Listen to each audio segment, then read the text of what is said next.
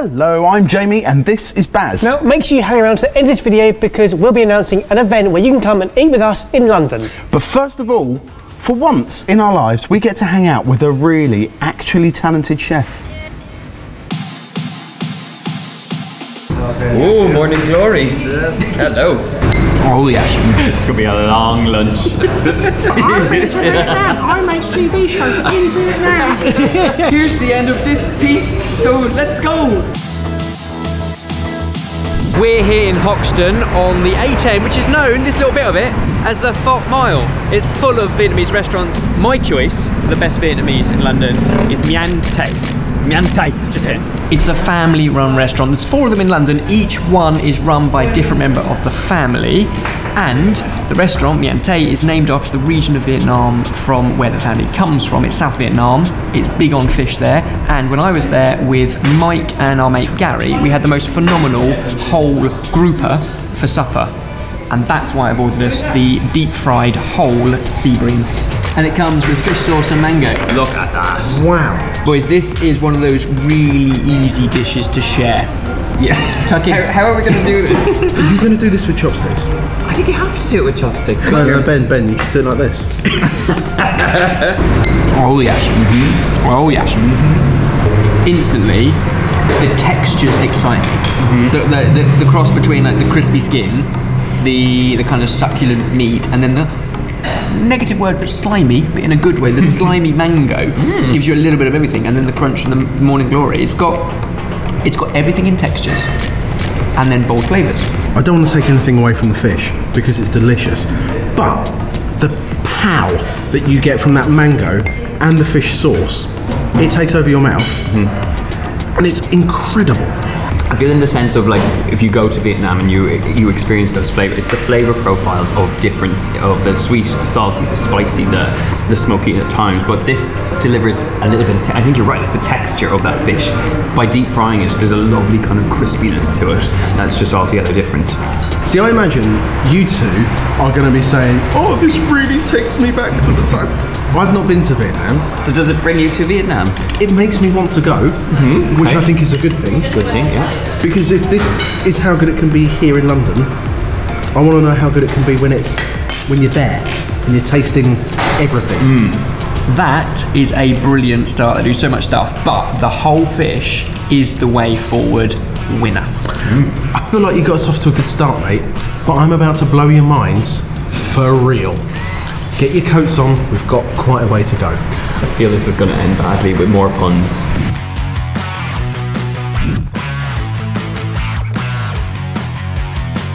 So I kind of thought it was going to be further. It was literally next door. It's the first mile, why would we go any further? any Oh god. I know what you're thinking, I've just brought you here for convenience. But I haven't. This place, Pho House, is one of the best phos in all of London. And you want to know why? Best ingredients, best chefs, and they brew the pho for 24 hours. That's at least twice as long as any other pho I've ever brewed in my life, or had brewed for me. Here we have the Pho House Special House Pho. I think that's what it's called. I think that's what it's called. It's got beef brisket, beef balls, rare beef, chicken, quail's eggs. It's looks amazing though, doesn't it? Oh, I'm intrigued by what a beef ball is. Is that a beef ball? Of course you are, mate. You can join us anytime. The first dish I ever had in Vietnam was pho. And I was pretty much mesmerized by the fact that there's all these additional accompaniments. So you have the soup, yeah, you have mint, Sprig of you mint. lovely bean sprouts, chili, and a bit of lime as well. So it feels like, yeah, it feels like it's soup with a bit of extra going on. Mmm, beefy. There's a word that we've banned ourselves from using from all sorts of videos. Mm. Is depth, like depth of flavour.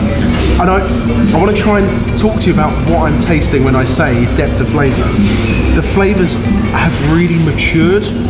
And yet, for all that intensity, it is a really clear broth. Mm. Like, it's not a deep colour, it's just an amazing kind of wonderful, soft noodle, fragrant with a, there's not many dishes that are acceptable to put an entire sprig of mint on, and it's actually good thing. I'm so glad we finally got Ben to admit that there are not that many dishes that you should put a whole sprig of mint on. Mm-hmm. How can you possibly top this? Well, I have someone that I think can help with that. I have an Instagram friend who is the queen of Vietnamese flavours in, in London. So I'm hoping that I can get up there and beat you all to it. So we're not going next door then? No, what's this about? Where are we going? So, we are in Islington, which I'm told is north of London, yes? and we're at the Little Viet Kitchen. And basically, we've come here because one of my Instagram pals, Thuy, uh, she runs this place. She originally ran it as a supper club and it now has a bricks and mortar restaurant. And she is an expert on all things Vietnamese. So I had thought that the summer rolls might be a good choice here or any of the kind of classics. But basically, Thuy has just come and explained that we are in her house and she is going to take control of how we are going to eat the food tonight. So I have no idea. You guys all presented a specific dish. I have no idea what we're going to eat, and I think that's probably the best way to enjoy a restaurant like this. We have the advice of the chef, and we've got some wonderful dishes coming our way. I don't know what's coming, but I can guarantee you we're going to eat well. As she was talking about the dishes and what it means, mm. she was welling up, which meant I was welling up, and it was it was amazing. I I can't wait to eat. Now, I'm pretty sure that this is the perfect example of why Thuy's restaurant and supper club is so successful because she is a feeder and she makes sure that people have a good time. I mean, we came in probably for one dish and we've ended up with an entire table filled with food that looks, it looks incredible. you ready? Happy birthday! so this is the rare beef and the brisket. Yeah. This reminds me of corned beef in flavour, but with so many added herbs and spice and fragrance that is just on another level. This is really, really good. Mm-hmm. Chargrilled quail with watermelon, chili, crispy garlic.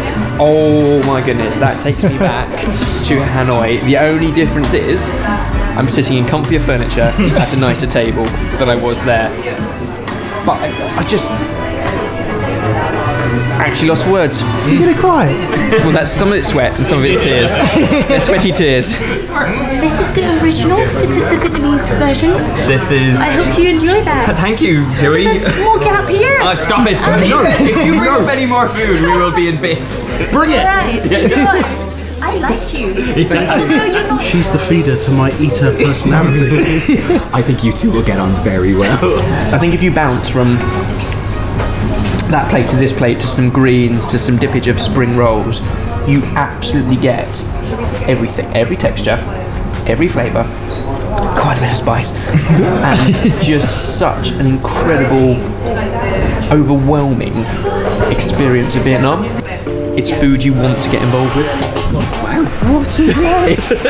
What time is this? It's like nearly 10 o'clock. We started this at 12. We started this early afternoon, which is why the first two places were so quiet. And they, yes, they were no frills, authentic Vietnamese food, and the deep fried fish and the morning glory was amazing. Mm-hmm. That was just step one. Mm-hmm. then we had the 24 hour broth for the pho, which was sensational until Well, I just, You I don't, us. I don't want to be, you know, confident in saying that. I feel like we, d- we've delivered on an epic Vietnamese feast, and Thuy has just like blown us away with what Vietnamese food can be, what it is, and how you can take traditional recipes and put your own spin on them. And I'm sorry, but I feel like you know, if we were to choose one winner, we normally we normally fight our corner.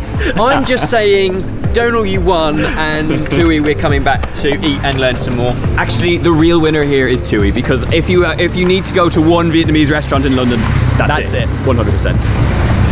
Back to the fridge. Now, make sure you give this video a like and also go subscribe to Donal. All the links are downstairs. Now, the Little Viet Kitchen was so good, and we all fell in love with Thuy a little bit, little bit. that in between filming this video and releasing it, we've agreed with them to put on a dinner so you can get the same special treatment that we did. The event is on Sunday, the 25th of November, and well, the tickets are available now. So book them and come and join us. Get all the info downstairs, sign up to the Sorted Club, and come and join us. In the meantime, subscribe, click the bell and comment below because we read all the comments. We'll see you every Wednesday, every Sunday at 4 pm. Forevermore. Goodbye. As we mentioned, Sorted is just run by a group of friends. So, if you like what we're doing, then there are loads of ways that you can support us and get more involved. Everything you need to know is linked below.